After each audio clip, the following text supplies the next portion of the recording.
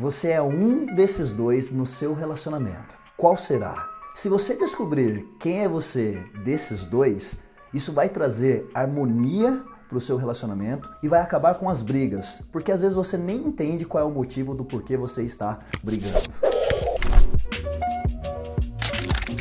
Olá, meu nome é Polozzi, sou especialista em hábitos de sucesso. Eu estou desvendando os segredos da mente para você sair da média e alcançar o sucesso em todas as áreas da sua vida, conquistando a vida plena que você merece. Polozzi, mas como assim? Quem desses dois eu sou no meu relacionamento? E como isso vai ajudar a eu ter mais harmonia, a acabar com as brigas? Eu participei de um treinamento com o Tony Robbins nos Estados Unidos, ele é o melhor coach do mundo. Eu fiz um curso com ele de cinco dias e lá ele fala sobre duas energias que existem existe num relacionamento. E para que exista paz, harmonia, para que o casal dê certo, para que diminua as brigas, tem que ter polaridade, ou seja, um precisa ter uma energia e o outro a outra energia. E quais são essas energias? Uma pessoa do relacionamento, ela tem a energia da ação e a outra pessoa tem a energia da doçura. Como assim, Polozzi? Eu vou explicar um pouquinho melhor para você entender. Repare que no relacionamento tem aquela pessoa que faz o papel que ela tem a energia da ação. É aquela pessoa que vai para cima,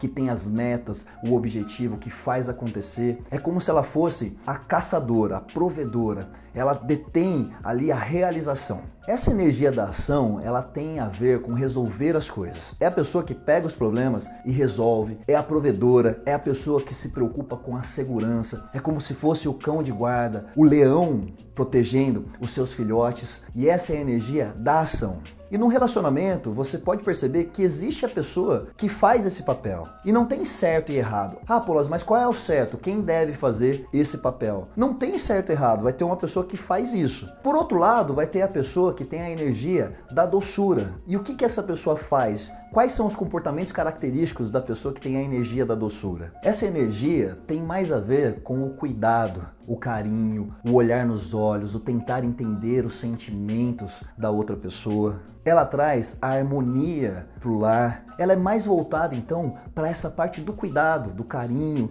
Essa pessoa ela quer ser escutada e também ser compreendida. Então no relacionamento você vai ver os papéis, onde tem a energia da ação e a energia da doçura. Polosa, mas por que é importante eu entender isso? Saber qual é a minha energia e a energia do meu parceiro ou da minha parceira. Porque se você entende que tem que ter polaridade, que cada um vai ser de uma forma, você para de criticar a outra pessoa pelo jeito que ela é. Às vezes, aquela pessoa da ação, a realizadora, a protetora, a provedora, ela fica cobrando a outra de que a pessoa não age tanto, é mais parada. Mas porque a função dela é a harmonia, é o carinho, é entender, é cuidar, é apoiar. Se você parar para observar os relacionamentos, você vai ver esses dois papéis. Você pode ver isso muito claro no seu relacionamento e você pode ver isso também nos relacionamentos das pessoas que você conhece. Para que o relacionamento funcione, tem que ter polaridade. Então eu não tenho que ficar reclamando da outra pessoa ou de como ela é. Eu só tenho que entender que se eu sou o caçador, se eu tenho a energia da ação, eu vou ter do meu lado uma pessoa da energia da doçura. Não adianta eu ser o caçador, o provedor, a ação, a realização e cobrar que a outra outra pessoa seja dessa forma também. Por quê?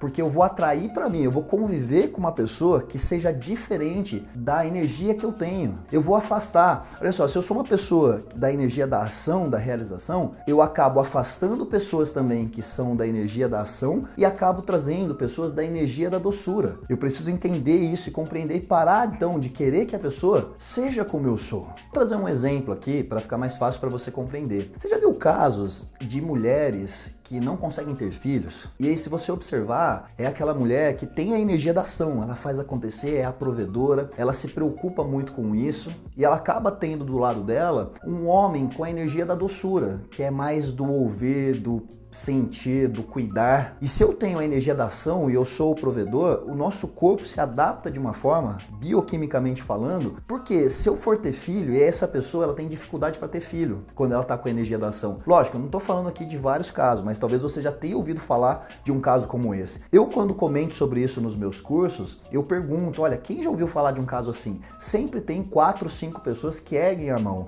Por quê? Porque é senso comum, você observa isso. Aí tem aquela mulher com a energia energia da ação. E novamente, eu não estou dizendo se é certo ou se é errado. Só estou falando que existe essa configuração dentro de um relacionamento, onde tem a polaridade de energia. E aí a mulher, por ter essa energia da ação, muitas vezes ela não consegue ter filhos. E aí tem casos onde o casal adota um filho, aí essa mulher faz o quê? Ela começa a ficar mais com essa energia da doçura, do cuidado, do sentir, do ter que entender a criança, né, os sentimentos da criança, ou o que, que ela está comunicando ali para que você veja qual é a necessidade. É fome? É dor? O que, que é? E a energia da doçura tem essa capacidade de compreender, de desenvolver empatia. E ela vem para essa energia da doçura e muitos casais, o que, que acontece com essa mulher? Ela é engravida. Por quê? Porque ela veio para a energia da doçura. É importante você entender então que existe essa polaridade e eu vou parar de cobrar outra pessoa por ser diferente de mim. Eu preciso dessa pessoa do meu lado. E eu começo a olhar agora para o que ela tem de bom. Se ela é a energia da ação, eu vou reconhecer isso nessa pessoa. Reconhece, sabe? Elogia. Poxa, obrigado.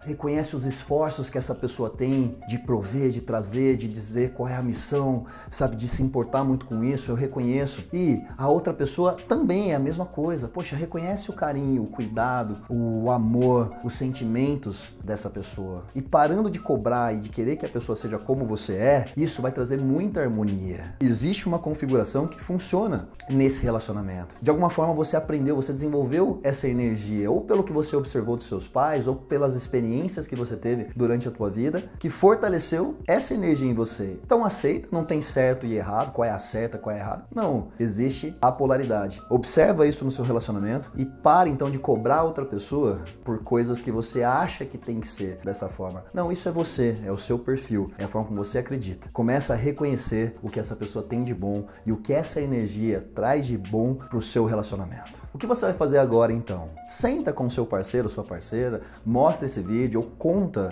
o que eu falei nesse vídeo. Entende quem é você no seu relacionamento. Você é mais da ação ou mais da doçura? E acerta os pontos. Olha, então tá ótimo, você é assim, eu vou reconhecer, eu vou te amar por você ser dessa forma e eu te reconheço também e veja o que você pode ajustar para que volte a harmonia, para que crie mais harmonia e elimine as brigas aí por esses motivos que fazem parte da energia que você carrega. Agora deixa eu saber se você gostou desse vídeo. Isso que eu falei sobre energia da ação, da doçura, você não encontra em qualquer lugar. Eu aprendi porque eu investi na minha vida. Eu fiz um grande investimento para poder estar com o melhor do mundo. Por quê? Porque se é o melhor do mundo, não tem preço, sabe? E você só aprende coisas assim quando você investe na tua vida. E parabéns por você estar assistindo esse vídeo, porque você está aprendendo algo novo que vai melhorar o seu relacionamento. E não só isso, você pode aprender para você crescer, ter uma vida plena, evoluir em todas as áreas da sua vida. Deixa eu saber se você gostou então, se eu agreguei valor para você, dá um like no vídeo e aproveita e já se inscreve no meu canal. Clica aí no botão vermelho inscrever-se e assim que você se inscrever vai aparecer um sininho. Ativa o sininho também, clica no sininho, porque toda vez que eu enviar um vídeo novo para te ajudar a evoluir, você vai ser notificado. Então se inscreve aí e toca no sininho. E pra gente finalizar, me segue também no Instagram. Procura lá Polose underline oficial, que eu compartilho dicas diariamente, mostro meu dia a dia, minha família, o meu relacionamento e você vai ter a oportunidade de me acompanhar e aprender mais com tudo que eu tenho aprendido investindo investindo em mim e também ajudando milhares de pessoas através dos meus treinamentos. Eu venho compartilhando para que você venha viver de fato uma vida plena. Um forte abraço.